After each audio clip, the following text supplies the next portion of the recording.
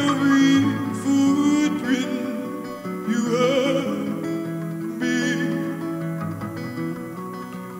the wind